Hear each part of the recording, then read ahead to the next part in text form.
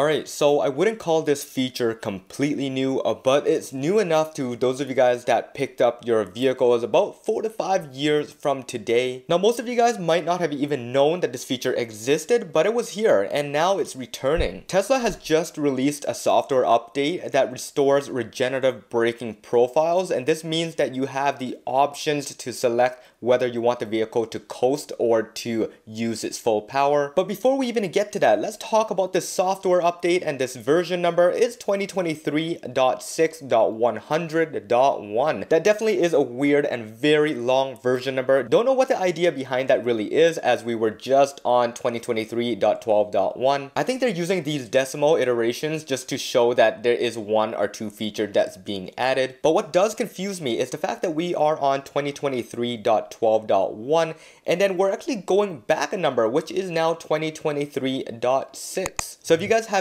any idea why that's even the case, let me know in the comments below because I'm super confused there. But now let's talk about this overall update. You do have two new things here. One of them being the regenerative braking profile that I mentioned earlier. And then the other one being the energy gauge and it has some display improvements. Not too much of a change there. But in simple terms, what we're getting from this update here is the fact that you do have a setting now that lets you turn it from a standard to low profile, meaning that your vehicle will now just coast as you take off your foot from the accelerator. Now, this was available in earlier cars back in the days where it mimics the idea of the ICE cars. Your standard gas car with the exception of manual transmissions, if you let go of the accelerator or the gas pedal, the vehicle is just going to continue to coast automatically. More recently, in modern cars, as soon as you take your foot off the gas, it will jump into its neutral gear and it'll let your vehicle just coast even further without using that much gas. So the same situation applies to your Tesla vehicle with this profile turned on to low.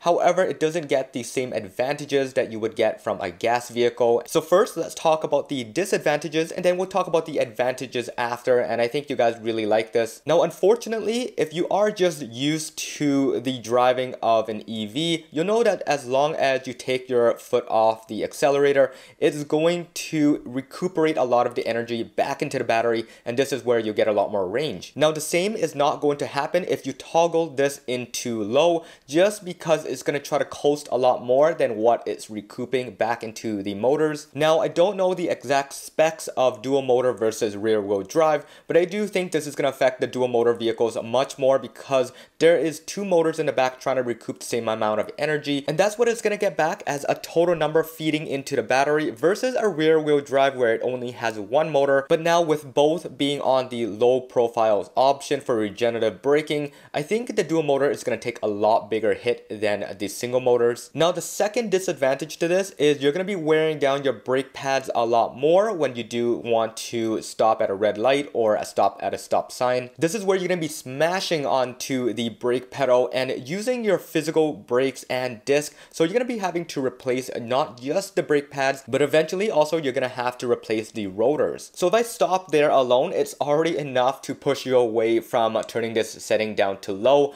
but there's more. And I think this one is gonna be the biggest factor to setting this to low. If you've gotten used to one pedal driving at this point like I did, you're going to regret turning this to low ever because on standard mode, as soon as you let off the accelerator, the vehicle is gonna come to a complete stop stop and that means that you never have to move your foot over to the brakes. Although in low setting, you're still going to get a lot of the stopping motion that you typically would feel. However, it's not going to be that aggressive to the point where the vehicle would completely stop. So you definitely have to deal with that. But yeah, those are the three biggest things that I can think of right off the top of my head about why you shouldn't be using this feature or not touching it at all once it's available. But now let's go on to the advantages. This toggle ultimately helps people that are transitioning from ICE vehicles over to EVs. I know it's not that hard to do. However, a lot of people do get used to the coasting uh, motion of the vehicle once they let off the accelerator. Jumping directly into an EV for the first time and doing the exact same motion is going to get your car to suddenly jerk and stop and that's just going to freak them out a lot more.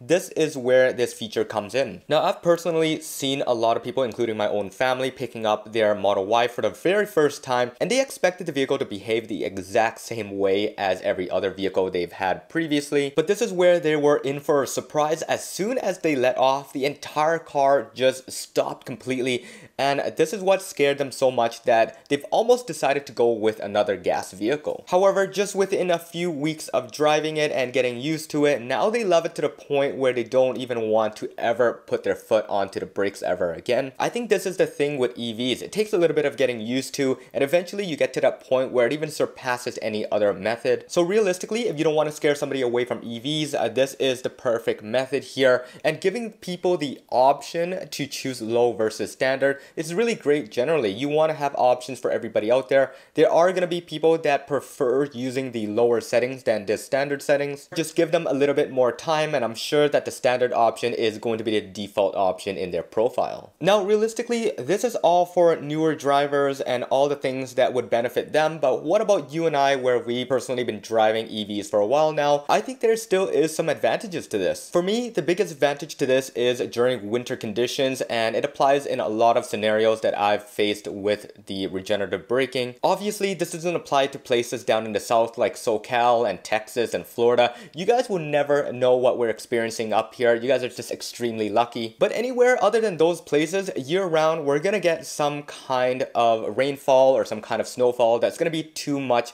for the system. A lot of times in extreme rain and harsh snowfalls, I do get a lot of jerking when I let off the accelerator and this can be very nerve-wracking when I start to feel the vehicle fishtail a little bit. These are the times where I really wish that I did have an option to disable regenerative braking completely or at least set it to low and this would allow me to control the vehicle a lot better in these conditions. Now on top of that, there's even the fact that regenerative braking is limited when the vehicle is completely full or in inclement weather. I know this has been fixed with meshing of brake pads as well as the regen system. However, I am very thankful that we are also getting this option as well. I think options are always a great thing. So let the consumer, let the customer pick what they want. So yeah, overall, I'm really glad that Tesla is doing this, is giving everybody the choice of what they want and how they would get used to it. Now, there is one thing that does give me a little bit of concern is the fact that their EPA ratings are tied to this regen system. The fact that they're getting this high EPA rating in range is that they are using the regen system. Now being that this new software update is gonna lower the regen system or give the option for it to be lower, EPA could substantially drop from this point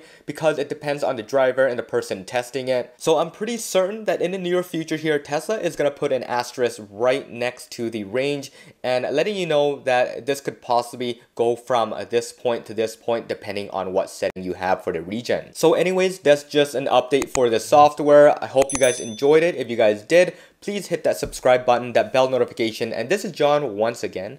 Peace out.